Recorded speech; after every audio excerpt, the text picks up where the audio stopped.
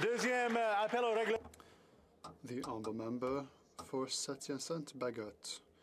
Mr. Speaker, there was consultation between parties, and I think you'll find that there is unanimous consent with regard to the following motion that this House call upon the government to develop a due diligence policy on corporate responsibility with uh, respect to human rights and the environment that require companies to prevent adverse human rights impacts and environmental damage throughout their global operations and supply chains